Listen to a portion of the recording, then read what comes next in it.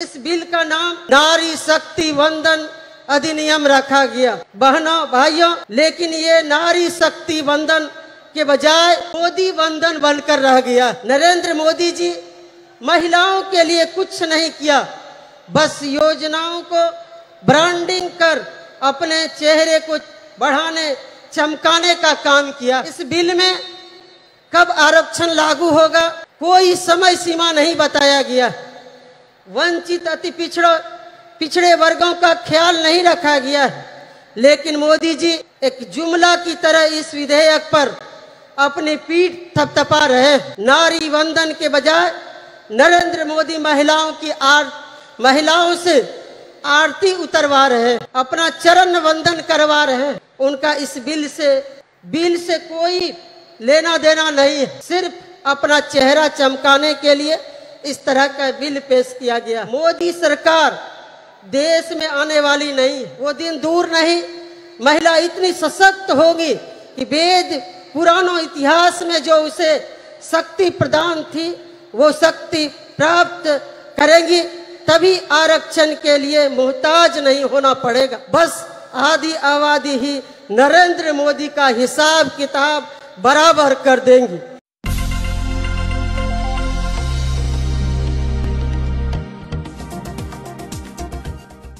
बहनों, कहा जाता है कि यत्र नारी पूज्यंते तत्र देवता। यानी जहाँ नारी की पूजा होती है, वहाँ देवता का वास होता है। हम नारी सर्वशक्तिमान हैं। नारी के बिना संसार में मानव जाति की सृजन की कल्पना नहीं की जा सकती है। इसी शक्ति को सम्मान देने के लिए हमारे बिहार में माननीय मुख्यमंत्री श्री नीतीश कुमार जी ने सत्ता संभालते ही 2006 से पंचायती राज संस्थानों में एवं 2007 से नगर निकाय के निर्वाचन में महिलाओं के लिए 50 प्रतिशत आरक्षण दिया जा दिया जा रहा है।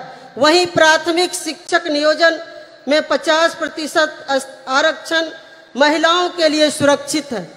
राज्य में पहली बार पुलिस महिला बटालियन का गठन किया गया है।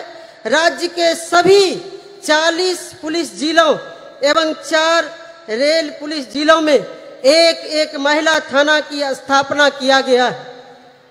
राज्य में अनुसूचित जनजाति की महिलाओं के लिए स्वाभिमान बटालियन का गठन किया गया है।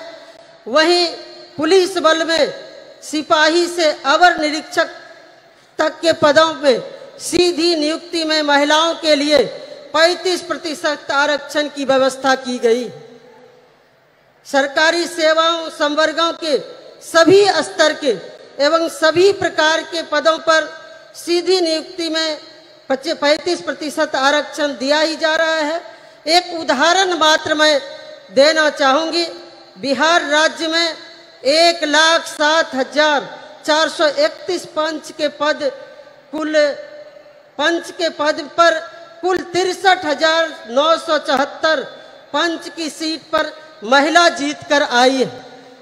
अड़तीस जिला परिषद अध्यक्ष में उनतीस महिला जिला परिषद अध्यक्ष वहीं कुल आठ हज़ार अंठावन मुखिया में कुल बयालीस सौ नौ मुखिया पद पर आसीन है। पंचायती राज व्यवस्था में महिलाओं को आरक्षण देने की नेक सोच रखने वाले देश के हमारे भूतपूर्व प्रधानमंत्री स्वर्गीय राजीव जी जी को भी मैं स्मरण करना चाहूँगी। आज स्वर्गीय राजीव गांधी जी रहते तो महिलाओं को देश की संसद और विधानसभाओं में कब का एक तिहाई आरक्षण मिल गया होता? हमारे बिहार में नारी सशक्ति के अग्रणी नेता माननीय मुख्यमंत्री श्री नीतीश कुमार जी द्वारा ऐतिहासिक कदम उठाए गए, जिनकी चर्चा करूँगी तो काफ़ी वक्त लग सकता है।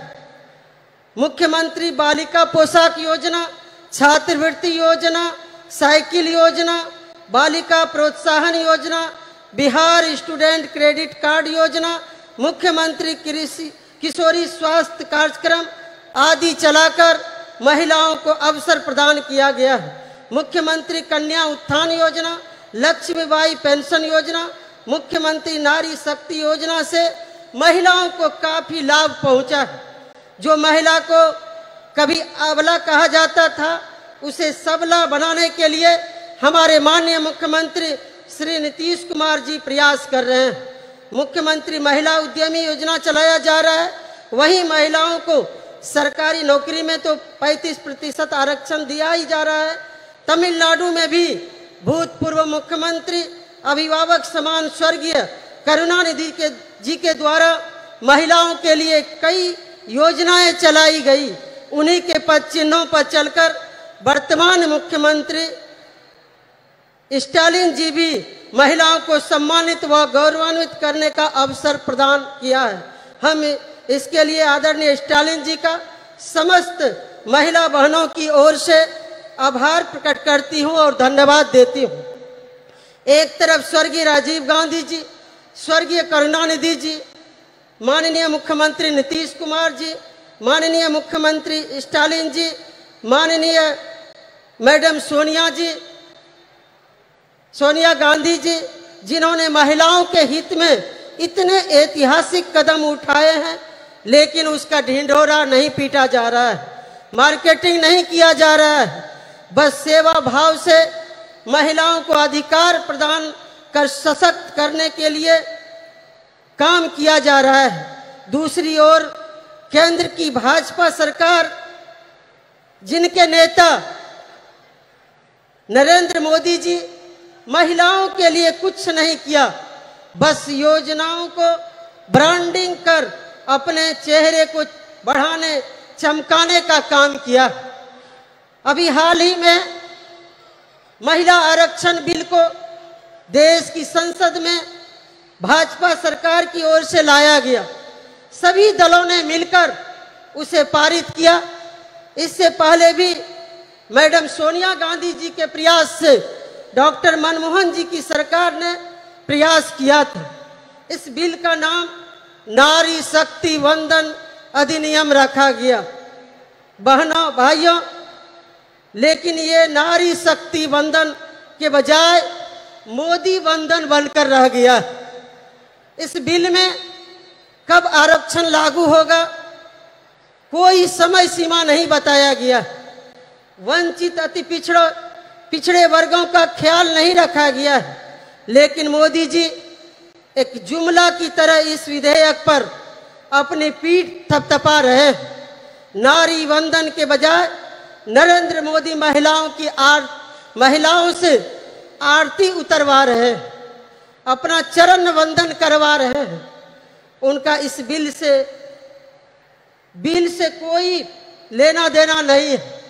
सिर्फ़ अपना चेहरा चमकाने के लिए इस तरह का बिल पेश किया गया।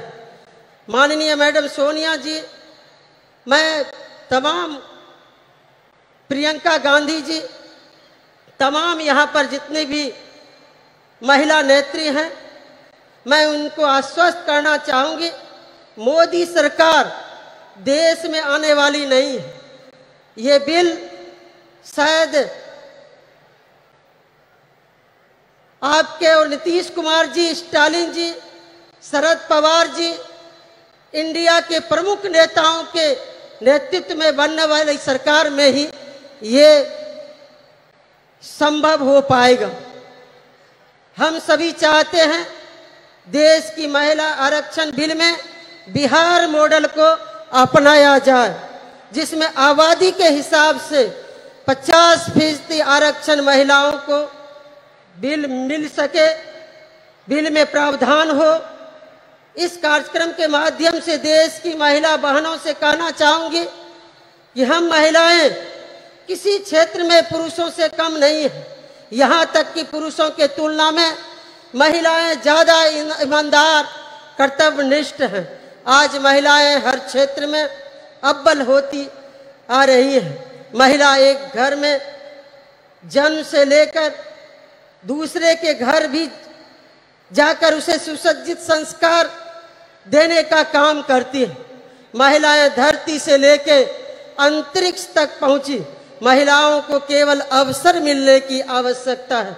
महिलाओं को अवसर मिलने पर महिलाओं ने साबित कर दिया है कि पुरुषों से कई ज़्यादा गुना काबिलियत महिलाओं में है।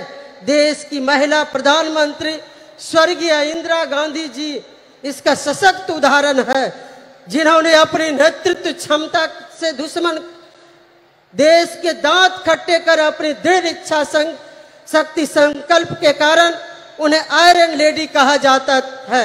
मुझे विश्वास है जिस तरह से इंडिया के नेतागण चाहे वो माननीय मुख्यमंत्री नीतीश कुमार जी हो चाहे madam Sonia ji madam Priyanka Gandhi ji Mehbooba ji Stalin ji madam Kanimozhi ji, Supriya Sule ji एवं समस्त मंचासीन विभिन्न विपक्षी नेताओं के, दलों के नेताओं के सभी महिला नेत्रीगण, आदि ने महिलाओं को अवसर और संबल प्रदान कर कर रहे हैं। वो दिन दूर नहीं, महिला इतनी सशक्त होगी कि वेद पुरानों इतिहास में जो उसे शक्ति प्रदान थी, वो शक्ति प्राप्त करेंगी।